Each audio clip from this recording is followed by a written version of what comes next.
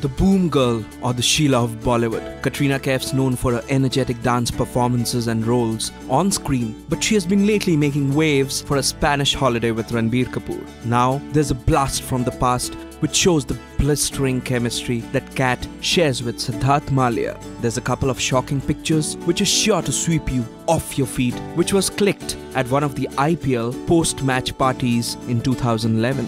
If you look at these pics, you can see Siddharth's hand advancing towards Katrina. Then you can see Siddharth touching Katrina as his hand is inside her white dress. Kat is also not perturbed by this as she has a smile on her face. And is she enjoying this intimate moment? Ooh. So, friends, what do you have to say about Katrina after these photos have gone viral? Or do you feel that these pics are not real?